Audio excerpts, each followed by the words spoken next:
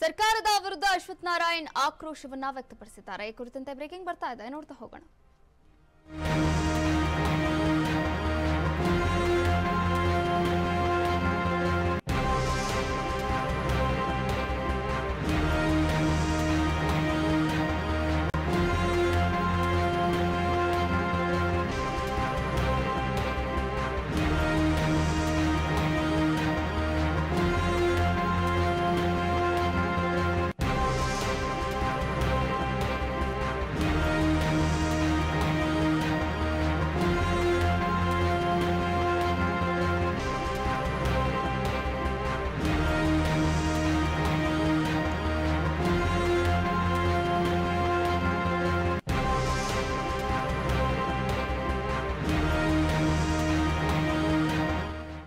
ಸರ್ಕಾರದ ವಿರುದ್ಧ ಅಶ್ವಥ್ ನಾರಾಯಣ್ ಆಕ್ರೋಶವನ್ನ ವ್ಯಕ್ತಪಡಿಸಿರುವಂತದ್ದು ಎಪ್ಪತ್ತೇಳು ವರ್ಷದಲ್ಲಿ ಇಂತಹ ಕೆಟ್ಟ ಸರ್ಕಾರವನ್ನ ಹಿಂದೆ ಎಂದೂ ಕೂಡ ನೋಡಿಲ್ಲ.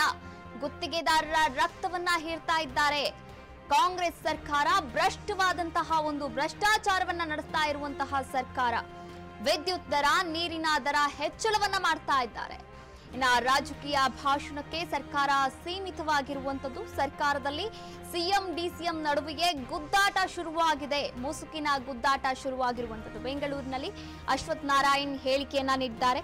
ಸರ್ಕಾರದ ವಿರುದ್ಧ ತೀವ್ರವಾದಂತಹ ಅಶ್ವಥ್ ನಾರಾಯಣ್ ಆಕ್ರೋಶವನ್ನ ವ್ಯಕ್ತಪಡಿಸಿರುವಂತದ್ದು ಎಪ್ಪತ್ತೇಳು ವರ್ಷದಲ್ಲಿ, ಎಪ್ಪತ್ತೇಳು ವರ್ಷದ ಆಡಳಿತದಲ್ಲಿ ನಮ್ಮ ಭಾರತದಲ್ಲಿ ಎಂದೂ ಕೂಡ ಈ ರೀತಿಯಾದಂತಹ ಒಂದು ಸರ್ಕಾರವನ್ನ, ಕೆಟ್ಟ ಸರ್ಕಾರವನ್ನ ನೋಡಿಲ್ಲ. ಗುತ್ತಿಗೆದಾರರ ರಕ್ತ ಹೀರ್ತಾ ಇದೆ ಈ ಕಾಂಗ್ರೆಸ್ ಸರ್ಕಾರ.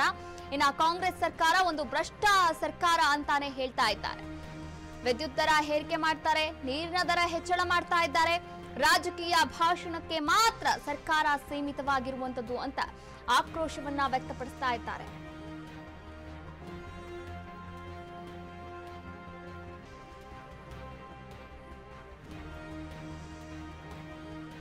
ಎಸ್, ಕಾಂಗ್ರೆಸ್ ಸರ್ಕಾರದ ಒಂದು ವರ್ಷದ ಸಾಧನೆ ಶೂನ್ಯ ಅಂತ ವಿಜೇಂದ್ರ ಅವರು ಹೇಳ್ತಾ ಇದ್ರೆ, ಇನ್ನ ಇದೀಗ ಅಶ್ವಥ್ ನಾರಾಯಣ್ ಅವರು ಕೂಡ ಈ ಒಂದು ಕಾಂಗ್ರೆಸ್ ಸರ್ಕಾರದ ವಿರುದ್ಧ ಗುಡುಗಿರುವಂಥದ್ದು. ಸರ್ಕಾರದ ವಿರುದ್ಧ ಅಶ್ವಥ್ ನಾರಾಯಣ ಆಕ್ರೋಶವನ್ನ ಹೊರಗಾಗ್ತಾ ಇದ್ದಾರೆ. ಬಂದು ಒಂದು ವರ್ಷ ಆದರೂ ಕೂಡ ಯಾವುದೇ ಅಭಿವೃದ್ಧಿ ಕೆಲಸಗಳನ್ನು ಮಾಡ್ತಾ ಇಲ್ಲ. ಬೆಂಗಳೂರಿನಲ್ಲಿ ಯಾವುದೇ ಅಭಿವೃದ್ಧಿ ಕೆಲಸಗಳನ್ನು ಮಾಡ್ತಾ ಇಲ್ಲ. ಇನ್ನು ಬೆಂಗಳೂರಿನಲ್ಲಿ ನಾವೆಲ್ಲ ನೋಡ್ತಾ ಇರ್ಬೋದು, ನೀರಿನ ಸಮಸ್ಯೆ ಹೇಗೆ ಹೆಚ್ಚಳವಾಗಿದೆ ಅಂತ.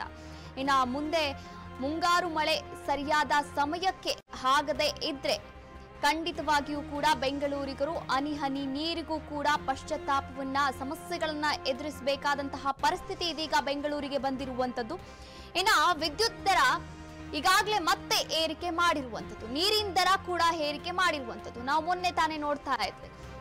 ಐದು ರೂಪಾಯಿ ಅಂದ್ರೆ ಇಪ್ಪತ್ತೈದು ಲೀಟರ್ ಕ್ಯಾನಿನ ಬೆಲೆ ಕೇವಲ ಐದು ರೂಪಾಯಿ ಇದ್ದಂಥದ್ದು.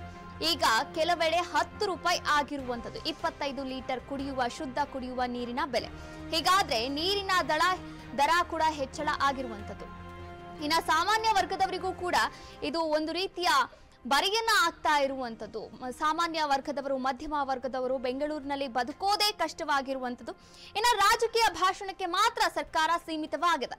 ನಾವು ಹಾಗೆ ಮಾಡ್ತೀವಿ, ನಾವು ಹೀಗೆ ಮಾಡ್ತೀವಿ ಅಂತ ಹೇಳ್ತಾ ಇರುವಂಥದ್ದು ರಾಜಕೀಯ ಭಾಷಣಕ್ಕೆ ಮಾತ್ರ ಸರ್ಕಾರ, ಅಂದ್ರೆ ಕಾಂಗ್ರೆಸ್ ಸರ್ಕಾರ ಸೀಮಿತವಾಗಿದೆ ಅಂತ ಬೆಂಗಳೂರಿನಲ್ಲಿ ಅಶ್ವಥ್ ನಾರಾಯಣ್ ಅವರು ಒಂದು ಹೇಳಿಕೆಯನ್ನ ನೀಡಿರುವಂಥದ್ದು ಹಾಗೆ ವಾಗ್ದಾಳಿಯನ್ನ ನಡೆಸಿರುವಂಥದ್ದು